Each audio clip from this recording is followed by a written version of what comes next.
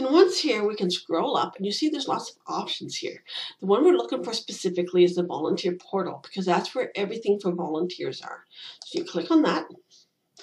And um, we're going to pretend I'm not logged in. So I'm going to take myself off here. And um, so how do you find out your password and, and, get signed in? So to sign in, you use that if you have an existing account. You sign up if you need an account. Many of you already have an account if you've done the survey in the past, even if you've never used NatureCounts. So you can sign in under the Canadian Lakes Loon Survey participants um, table here, or you can sign in up at the top. So we're going to click on that.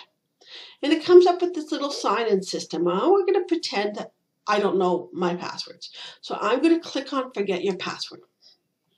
And it's going to ask for an email, which I'll put in, volunteer at birdscanada.org. And I'm going to ask for password reset.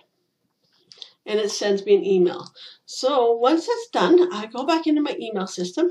And this is very handy because it tells me automatically my login name. So even though I don't know my login name, it provides it.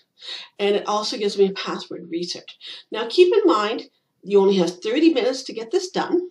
In addition, it only works if your um, email is the same as what we have in your profile account.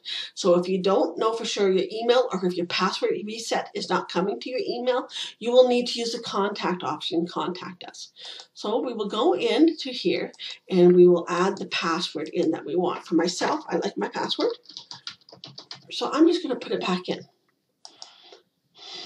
All right, and it says that we've successfully changed the password. Any green up here means everything's good. So we're going to log in here.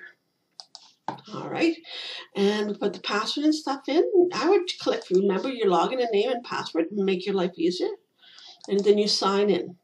Now, a couple things to note once you sign in.